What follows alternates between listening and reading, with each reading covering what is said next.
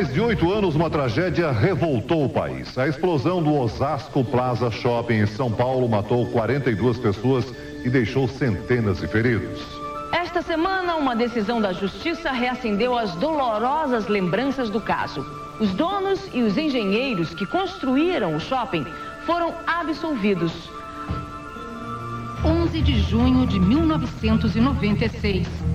Passava pouco do meio-dia quando um vazamento de gás na cozinha de uma lanchonete provoca uma violenta explosão no Osasco Plaza Shopping, em Osasco, região metropolitana de São Paulo. O impacto implodiu parte do centro comercial e abriu um buraco na parede do prédio. Entre consumidores e funcionários, mais de duas mil pessoas estavam na praça de alimentação e nas lojas na hora da explosão. 42 pessoas morreram e cerca de 420 tiveram ferimentos graves.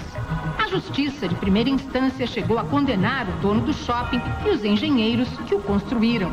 Mas nesta semana, uma nova decisão levou o caso à estaca zero. Por falta de provas, o Tribunal de Justiça absolveu os cinco acusados pela explosão do Osasco Plaza Shopping. O dono, Marcelo Zanotto, o administrador Antônio das Graças Fernandes e mais três engenheiros da construtora Wisling Gomes. Oito anos e meio após o acidente, só agora Mara da Silva voltou ao shopping.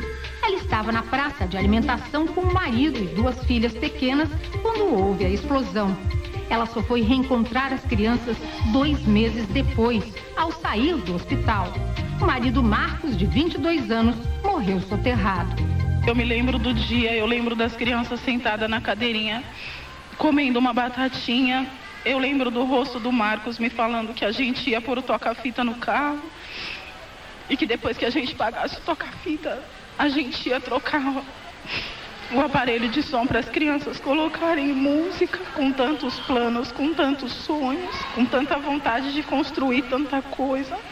Nunca pensei que seria dessa maneira e hoje nem, nem um convênio para poder ir quando não estou bem, quando estou doente, não tenho, não tenho condições nenhuma para pagar. E é uma coisa para o resto da vida. Eu fiquei com essa sequela para o resto da vida. Sidneia Gomes tinha 16 anos na época do acidente. Estava neste mesmo corredor que desabou sobre ela. Fraturou o fêmur esquerdo e teve esmagamento total do joelho direito. Ficou seis meses na cadeira de rodas. Eu não tenho movimento do pé direito, né? Eu tenho que estar sempre fazendo fisioterapia. Tô com artrose nos joelhos, entendeu? A qual me impossibilita de fazer muitas coisas. É, subir escada é complicado para mim, meus joelhos doem muito. Né? E, e, hoje eu vou ter que passar por uma cirurgia justamente porque o pé não tem movimento. E como eu não tenho feito tratamento, conforme o médico passou, o meu pé está encolhendo de novo, meus dedos estão virando uma garra. Você não tem feito tratamento por falta de condições financeiras? Isso, porque o meu tratamento é caro, né? Hidroterapia que eu tenho que fazer é 350 reais três vezes por semana. Entendeu? Nem que eu pudesse, que eu trabalhasse, não dá. Sidneia estava no shopping com a amiga Gilmara era a véspera do dia dos namorados e elas procuravam presentes quando tudo aconteceu. Gilmara teve esmagamento das pernas, um coágulo no cérebro e perdeu o baço. Ficou sete dias em coma, dois anos numa cadeira de rodas e ainda não se recuperou por completo. Eu sou uma pessoa limitada, minha perna esquerda não dobra, o joelho, perna direita há três meses eu fiz uma cirurgia para colocar uma prótese que não vai dobrar como antes, vai dobrar 90 graus. E assim, é muito traumatizante pensar que eu era uma pessoa normal como todo mundo. Quanto você acha que você já gastou em tratamento? Num total de todas as cirurgias que eu fiz, fiquei internada, já, já passou de 250 mil. Perdi uma filha com idade de 16 anos aqui no shopping, morreu. Ela saiu do colégio, do cineate e veio almoçar aqui dentro. Na hora que ela entrou, o shopping explodiu. Ela morreu imediatamente. Ela estava em sete pessoas, escapou três e as outras quatro morreu. Estou lutando até hoje para ver se existe um direito de, de ressarcir isso aí. Que não é totalmente pelo dinheiro, mas sim pela, pela consideração e a responsabilidade que as empresas têm que ter. Fez um serviço, tem que cumprir com as obrigações. Entendeu? É isso que nós temos que lutar, pelos nossos direitos, cidadão. As indenizações para os familiares dos mortos e feridos somaram um milhão de reais, que foi pago pela seguradora do shopping.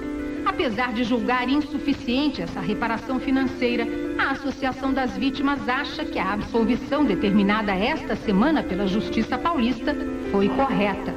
A entidade agora quer responsabilizar a companhia Ultragás por não ter tomado providências, mesmo tendo vistoriado o local onde vazava o gás. O funcionário que esteve aqui no dia que foi chamado, quer dizer, eu sei que é verdade isso. Ele falou que é, podia acontecer uma tragédia, inclusive ele, ele disse para o juiz que ele comunicou o chefe dele do que podia acontecer, só que eles não têm documentação. Eu ouvi ele da boca dele falando isso. Não, não foi uma explosão só, foram várias explosões no corredor. E conforme explodia, o cheiro do gás era cada vez maior. A gente tem medo de tudo, o cheiro de gás a gente já se assusta já manda desligar, é todo aquele trauma que ficou mesmo, né? A explosão foi causada por causa de gás GLP. Quem distribuiu o gás GLP foi a Ultragás e ela não fez uma boa expensão, não cuidou muito bem disso, acabou explodindo. E ela nunca, ela sequer doou nenhum band-aid para as vítimas.